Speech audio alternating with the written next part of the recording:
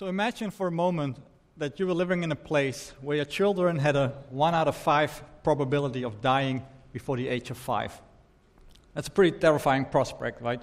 But that's the reality for hundreds of millions of people living in Africa. And there's really only a few causes for this high um, death rate among children. The first one is malnutrition, um, acute respiratory diseases, diarrheal diseases, and of course, malaria. So, 200 million people get sick by malaria every year, and still 630,000 people die from malaria, which is a treatable and largely preventable disease.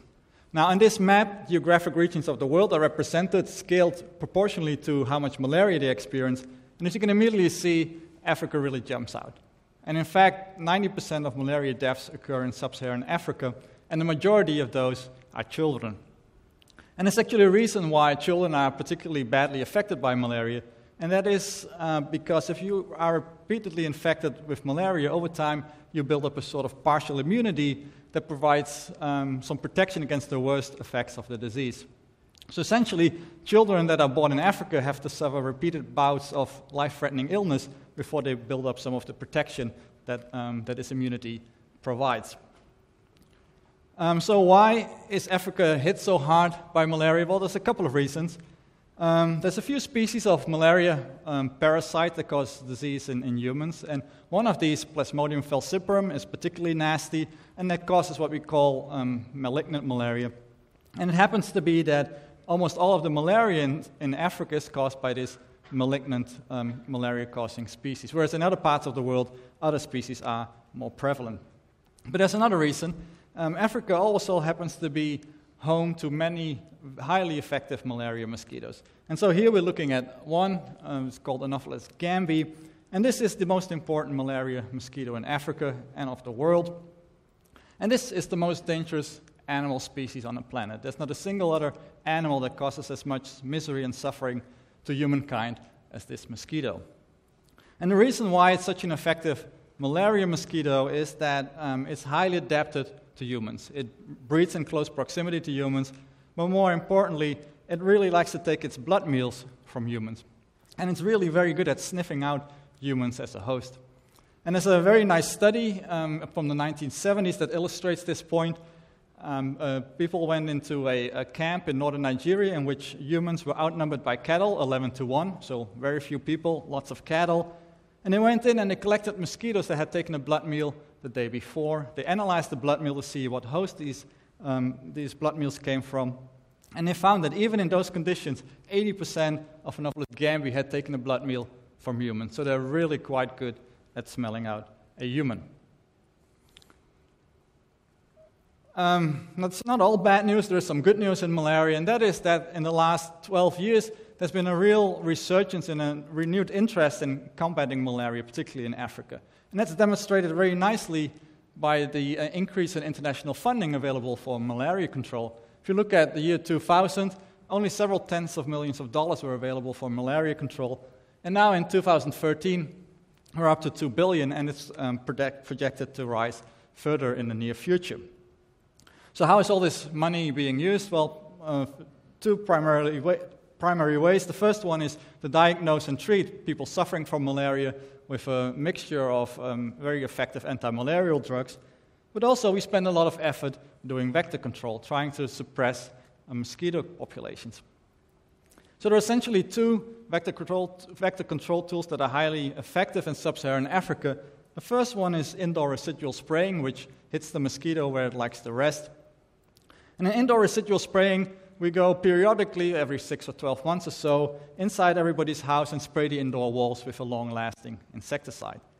And this works because malaria mosquitoes, they like to feed at night when people spend a lot of time indoors, and they quite happily go inside to go look for a host. So they take a blood meal, they get all swollen and bloated with, the, with their food, and then they need a place to rest and digest this meal. And quite often they stay indoors and rest on the walls of the houses where they then get knocked out by the insecticide. Um, a very highly implemented vector control tool in Africa as well is um, bed nets. You're all familiar with bed nets, I'm, I'm sure. Um, nowadays, these are mostly long lasting insecticidal bed nets in which the insecticide is incorporated inside the fabric and released slowly over time. And this protects people that sleep on a bed night both from the bites, but also suppresses mosquito populations because of the action of the insecticide. Now, there are, of course, some problems with these tools. Um, there's widespread insecticide resistance, um, and there's also some indication that mosquitoes may actually be changing their behavior to um, feeding more outside and earlier in the evening, and people are not protected by IRS or bed nets. But nonetheless, these are highly effective control tools, um, regardless of the, the, the, resistance and change in behavior. And these are the best tools we have, and we need to implement them on a larger scale.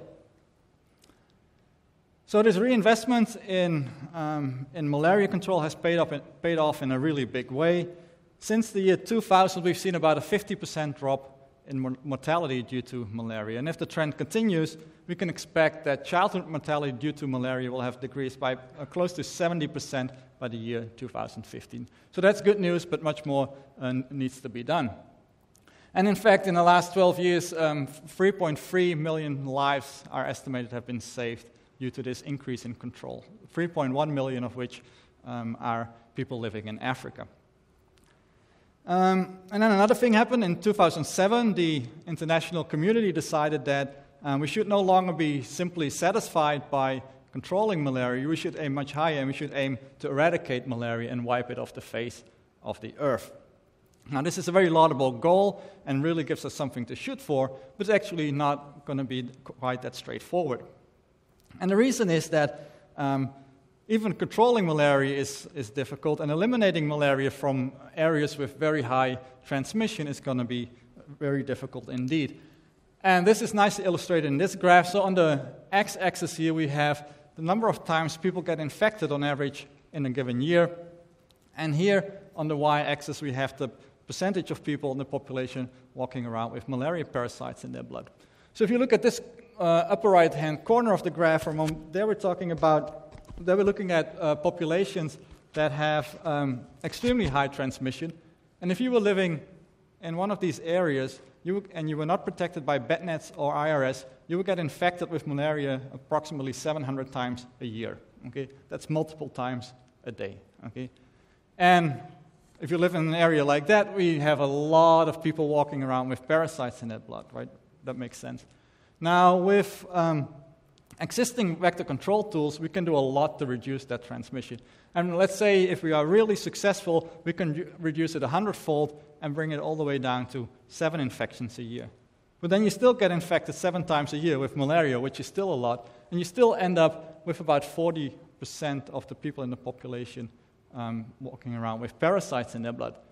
So, in order to mal- eliminate malaria in these high transmission areas, we need to go all the way from 700 times a year all the way down to here where there's almost no transmission at all, right?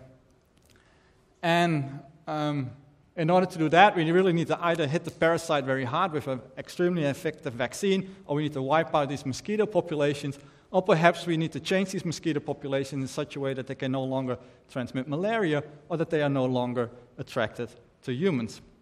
And this is where my lab gets in. Um, we are interested in understanding what attracts mosquitoes to humans. So, what is needed for malaria elimination? Um, so, we have effective tools, but it's widely considered that they're not going to be sufficient to eliminate malaria from high transmission areas. So, we desperately need new tools. Fortunately, there's many different labs around the world working to develop new tools, and I've just listed a few of them here. Um, you may be aware that there are now several uh, promising candidates for malaria vaccines that are being tested. Um, people are also testing um, newly developed odor baited traps that attract mosquitoes in very large numbers to see if that helps in reducing malaria transmission. Um, people have recently realized that infection with a symbiotic bacteria called Wolbachia that lives quite happily in many different insect species, if you inf- infect that uh, a mosquito population with that bacteria, it no longer is very good at transmitting malaria. And then there's quite a lot of um, work going on in developing transgenic mosquito technology. So the idea here is that we would take, for example, a lethal gene and spread that into a population to help suppress the population. Or alternatively, we might look for a gene that provides the mosquito with immunity against the malaria, spread that into a population. Or, again, uh, we could, uh, alternatively, we could take a gene that changes the behavior of the mosquito, spread that through population, and then end up with a mosquito population that is no longer attracted to human host, but is attracted to um, other animals.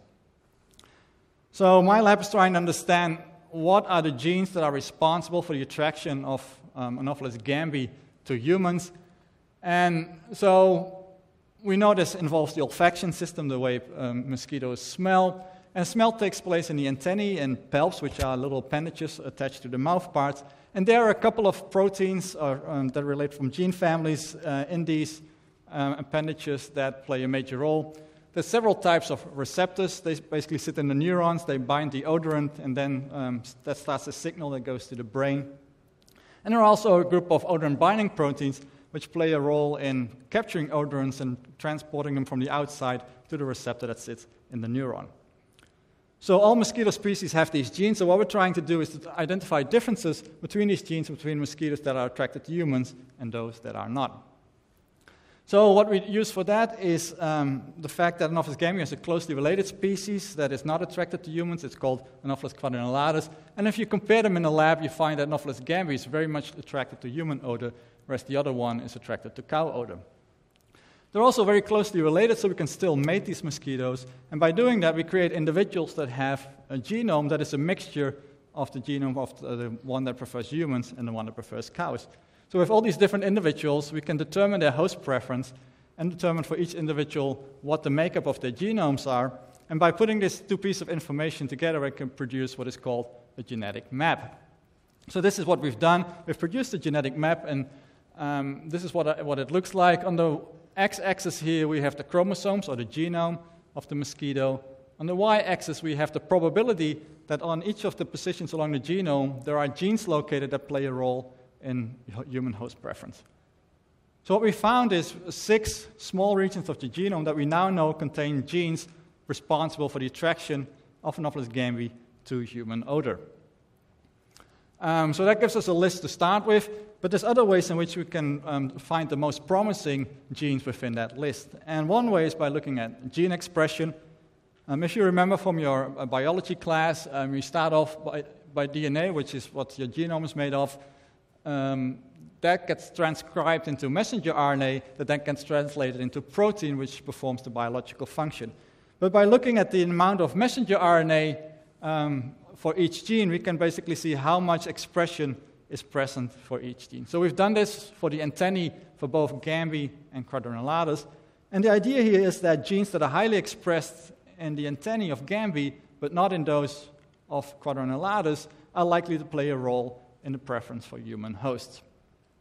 Now, I don't have time to show you all the data, so I just want to um, narrow it down a little bit. So we started off by with 182 genes total involved in the sense of smell with, in mosquitoes. And by using our genetic map, we narrowed that down to 38 genes. So these are the genes that are located inside those peaks that I showed you on the genetic map.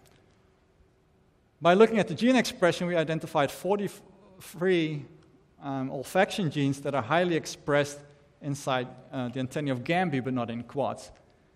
And if we overlap those, we find 11 of those genes are located inside the peak. So those are the most promising candidates. Those are the ones we're really going to look at in, in more detail. So this is one way in which we can narrow down um, this list of genes.